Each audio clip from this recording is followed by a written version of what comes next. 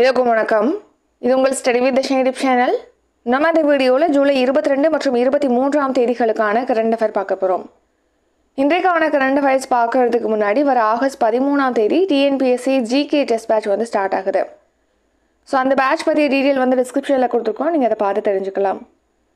So இப்போ current affairs பார்க்கலாம். முதல் கேள்வி சஷக்த் மகிழா ரின் யோஜனா திட்டம் எந்த மாநிலத்தில் தொடங்கப்பட்டுள்ளது? ஆன்சர் ஆப்ஷன் பி ஹிமாச்சல பிரதேசம் ஸோ இப்போ ரீசெண்டாக ஹிமாச்சல பிரதேச மாநிலத்தில் வந்து சஷக்த் மகிழா ரின் யோஜனா திட்டமானது தொடங்கப்பட்டிருக்கு. Chief minister Sukhu launch scheme to economically empower women so கவனிங்க ஹிமாச்சல பிரதேசத்தோட மாநில முதலமைச்சராக சுக்விந்தர் சிங் சுக்கு இருக்கார். ஸோ இப்போ ரீசெண்டாக இந்த சுக்விந்தர் சிங் சுக்கு அவர்கள் பார்த்தீங்கன்னா ஹிமாச்சல பிரதேச மாநிலத்தில் சஷக்த் மகிழா ரின் யோஜனா திட்டத்தை தொடங்கி வச்சிருக்காரு. ஸோ இந்த திட்டம் எதுக்காக தொடங்கப்பட்டிருக்கு அப்படின்னா இப்போது அந்த மாநிலத்தில் இருக்கக்கூடிய பெண்களை வந்து பொருளாதார ரீதியில் மேம்படுத்தணுங்கிறதுக்காக உங்களுக்கு பிணையமில்லாத கடன் வழங்கும் வகையில் தான் இந்த திட்டமானது தொடங்கப்பட்டிருக்கு. ஸோ இந்த கடன் பார்த்தீங்கன்னா பெண்கள் தொழில் முனைவோராகிறத ஊக்குவிக்கும் வகையிலும் பெண்களுடைய அன்றாட வாழ்வாதாரத்தை மேம்படுத்துறதுக்காகவும் அவங்களுடைய குடும்பத்தை மேம்படுத்துறதுக்காகவும் வழங்கப்படுது. ரீசன் யூஸ் ஸோ இப்போ ரீசெண்டாக சத்தீஸ்கர் மாநிலத்தில் வந்து கிராமின் ஆவாஸ் நியாய யோஜனா திட்டமானது தொடங்கப்பட்டிருக்கு. இது வந்து அந்த மாநிலத்தில் கிராமப்புற வீடற்ற நபர்களுக்கு வீடுகள் வழங்கும் நோக்கத்தில் தொடங்கப்பட்டிருக்கு. நெக்ஸ்ட் கர்நாடகாவில் வந்து குடும்ப தலைவிகளுக்கான கிரகலட்சுமி திட்டமானது தொடங்கப்பட்டிருக்கு.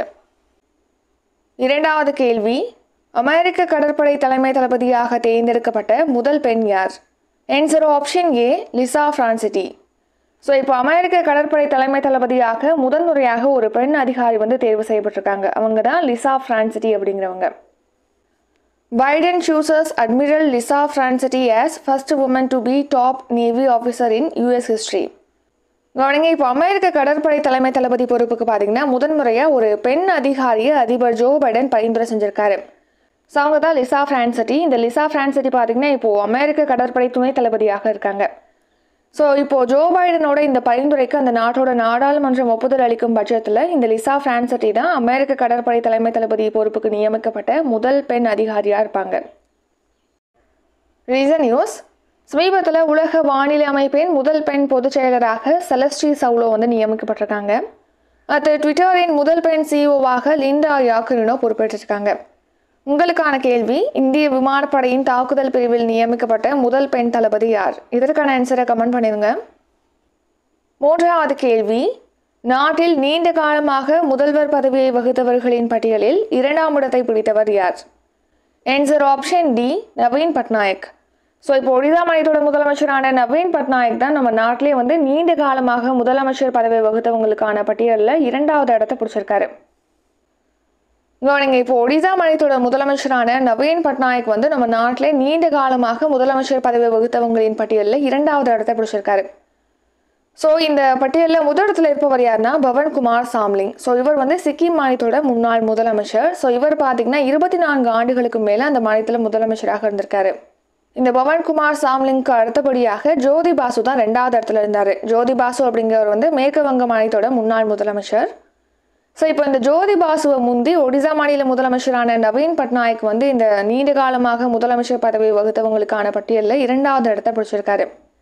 ஸோ நவீன் பட்நாயக் பார்த்தீங்கன்னா ஒடிசாவில் ரெண்டாயிரமாம் ஆண்டு மார்ச் ஐந்தாம் தேதியிலேருந்து தொடர்ந்து ஐந்து முறை நடைபெற்ற தேர்தலில் வெற்றி பெற்று இருபத்தி மூன்று ஆண்டுகள் நூற்றி முப்பத்தி எட்டு நாட்களாக அங்கே முதலமைச்சராக இருக்கார். ஸோ அதன்படி இப்போ இவர் வந்து நம்ம நாட்டிலே நீண்ட காலமாக முதலமைச்சர் பதவி வகுத்தவங்களுக்கான பட்டியலில் இரண்டாவது இடத்தை பிடிச்சிருக்காரு. நான்காவது கேள்வி. கீழ்கண்ட எந்த நோய் பரவலுக்கு பிறகு இளைஞர்களிடையே மாரடைப்பால் ஏற்படும் திடீர் மரணம் அதிகரித்துள்ளது? Answer option A corona so இப்போது கரோனா நோய் தொற்று பரவலுக்கு அப்புறமா பார்த்தீங்கன்னா இளைஞர்கள்ட்ட வந்து மாரடைப்பால் ஏற்படக்கூடிய திடீர் மரணம் அப்படிங்கிறது அதிகரிச்சிருக்கு அப்படின்னு மத்திய அரசு தெரிவிக்குது. கவனிங்க இப்போது கரோனா தொற்று பரவலுக்கு அப்புறமா பார்த்தீங்கன்னா இளைஞர்கள்ட்ட வந்து இந்த மாதிரி மாரடைப்பால் ஏற்படக்கூடிய திடீர் மரணமானது அதிகரிச்சிருக்கு அப்படின்னு மத்திய அரசு தெரிவிச்சிருக்கு. ஸோ இந்த மாதிரி இதயம் சார்ந்த நோய்களால் மக்கள் பாதிக்கப்படுறதை தடுப்பதற்காக நம்ம மத்திய அரசால் என்னென்ன திட்டங்கள்லாம் மேற்கொள்ளப்படுது அப்படின்னு பார்க்கலாம். ஃபர்ஸ்ட் பார்த்தீங்கன்னா தேசிய தொற்றா நோய் தடுப்பு திட்டம். ஸோ இந்த திட்டத்தின் கீழ் பார்த்தீங்கன்னா மாநிலங்களுக்கு மத்திய அரசு நிதி உதவி வழங்குது. அடுத்து செகண்ட் பார்த்தீங்கன்னா ஆயுஷ்மான் பாரத் காப்பீடு திட்டம். ஸோ இந்த திட்டத்தின் கீழ் வந்து குடும்பத்துக்கு ஆண்டுக்கு ரூபாய் ஐந்து லட்சம் வரையிலான இலவச மருந்து சிகிச்சைகளானது அளிக்கப்படுது. ஸோ இது வரைக்கும் இந்த திட்டத்தின் கீழ் வந்து அறுபது கோடிக்கும் அதிகமானவங்க பலனடைஞ்சிருக்காங்க. அடுத்து மக்கள் மருந்தகம். ஸோ மக்கள் மருந்தகம் அப்படிங்கிறது குறைந்த விலையில் மலிவான விலையில் ஏழைகளுக்கு மருந்து வழங்கும் நோக்கத்தில் தான் மக்கள் மருந்தகமானது தொடங்கப்பட்டது. ஸோ இந்த மக்கள் மருந்தகம் திட்டத்தின் கீழ் பார்த்தீங்கன்னா இதயம் சார்ந்த நோய்களுக்கான பொதுப்பெயர் மருந்துகள் வந்து மலிவு விலையில் வழங்கப்படுது.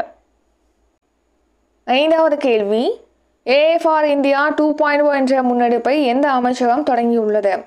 ஆன்சர் ஆப்ஷன் டி திறன் மேம்பாடு மற்றும் தொழில் முனைவோர் அமைச்சகம். ஸோ ஏஏ அப்படின்னா ஆர்டிஃபிஷியல் இன்டெலிஜென்ஸ் அதாவது செயற்கை நுண்ணறிவு. ஸோ இப்போ ஏஎஃப்ஆர் இந்தியா டூ பாயிண்ட் அப்படிங்கிற முன்னெடுப்பை திறன் மேம்பாடு மற்றும் தொழில் முனைவோர் அமைச்சகமானது தொடங்கியிருக்கு. AFR India 2.0, a free AI training program launched by the ministry of skill development and entrepreneurship so கவனிங்க இப்போ திறன் மேம்பாடு மற்றும் தொழில் முனைவோர் அமைச்சகம் பார்த்தீங்கன்னா AFR India two point O oh அப்படிங்கிற முன்னெடுப்பை தொடங்கியிருக்கேன் ஸோ இது எதுக்காக தொடங்கப்பட்டிருக்கு அப்படின்னா இப்போது செயற்கை நுண்ணறிவு குறித்த இலவசமாக ஆன்லைன் பயிற்சி வழங்கும் வகையில் தான் இந்த திட்டம் தொடங்கப்பட்டிருக்கு. ஸோ இந்த திட்டம் பார்த்தீங்கன்னா ஸ்கில் இந்தியா அப்புறம் குவி ஆகியவற்றோட ஒத்துழைப்போட செயல்படுத்தப்படுது.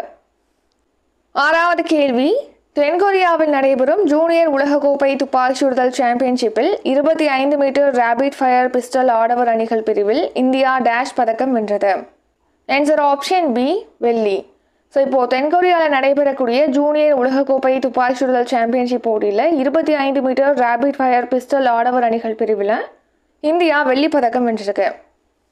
ஸோ இப்போ தென்கொரியாவில் வந்து இந்த ஆண்டுக்கான ஜூனியர் உலகக்கோப்பை துப்பாக்கி சுடுதல் சாம்பியன்ஷிப் போட்டியானது நடைபெறுது. இந்த போட்டியில் இருபத்தி ஐந்து மீட்டர் ரேபிட் ஃபயர் பிஸ்டல் ஆடவர் அணிகள் பிரிவில் இந்தியா வந்து வெள்ளிப்பதக்கம் வென்றிருக்கு. ஸோ பார்த்தீங்கன்னா இந்தியாவின் சமீர் ராஜ் கன்வர் சிங் சந்து மகேஷ் ஆனந்த்குமார் ஆகியோரின் கூட்டணி தான் இந்த வெள்ளி பதக்கத்தை வென்றிருக்காங்க. ஏழாவது கேள்வி. சமீபத்தில் எந்த நாட்டைச் சேர்ந்த ஆயிஷா நசீம் சர்வதேச கிரிக்கெட்டிலிருந்து ஓய்வு பெறுவதாக அறிவித்துள்ளார். Answer option A Pakistan.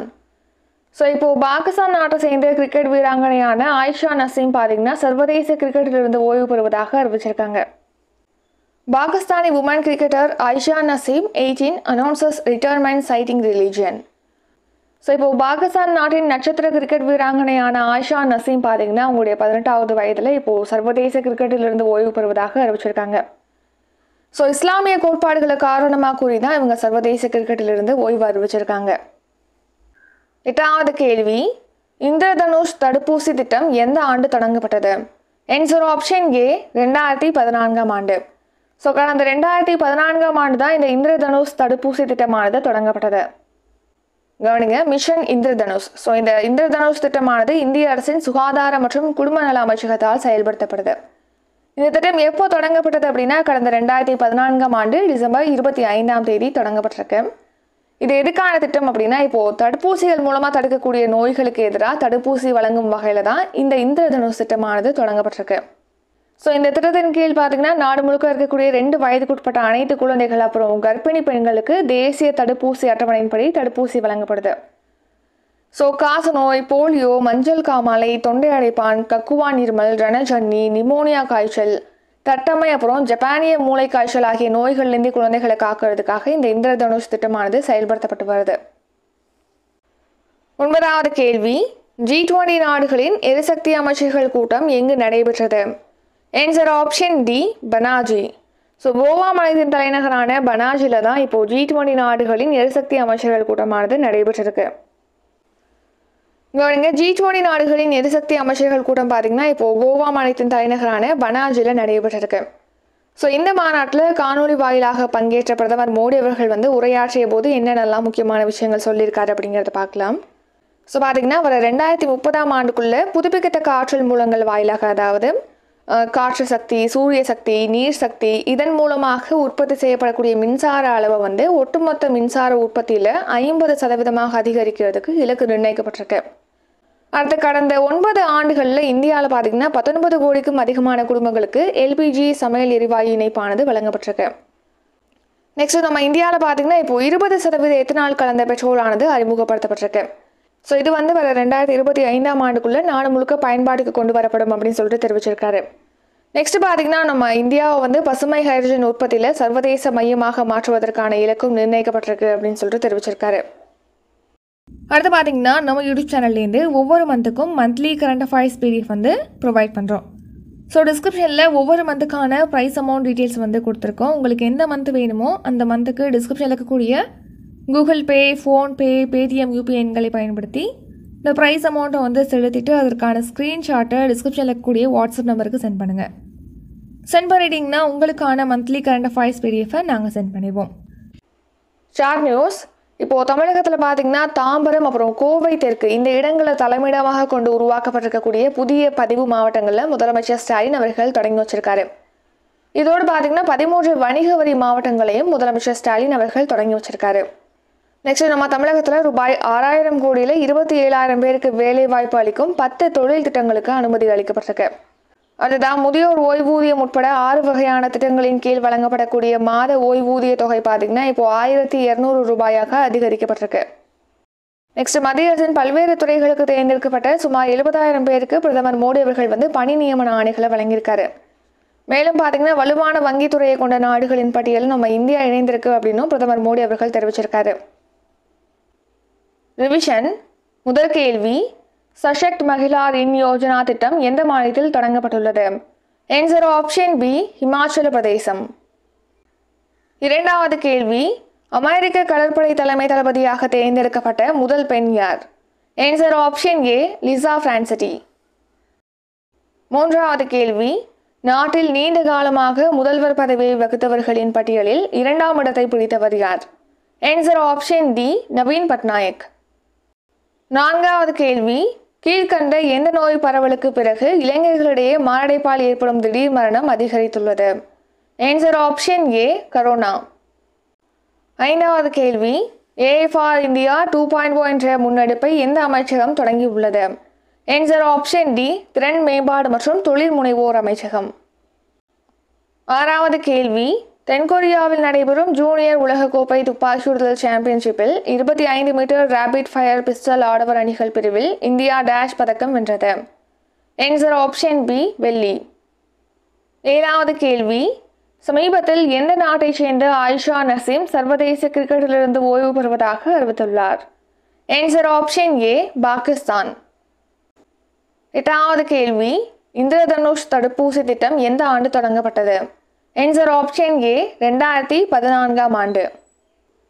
ஒன்பதாவது கேள்வி ஜி டுவெண்டி நாடுகளின் எரிசக்தி அமைச்சர்கள் கூட்டம் எங்கு நடைபெற்றது? Answer option D Panaji. இத்துடன் இந்த வீடியோ நிறைவடைகிறது. இந்த வீடியோ உங்களுக்கு பிடிச்சிருந்தா லைக் பண்ணுங்கள் ஷேர் பண்ணுங்கள் நம்ம சேனலில் நீங்கள் இன்னும் சப்ஸ்கிரைப் பண்ணலன்னா மறக்காமல் சப்ஸ்கிரைப் பண்ணிக்கோங்க. நன்றி வணக்கம்.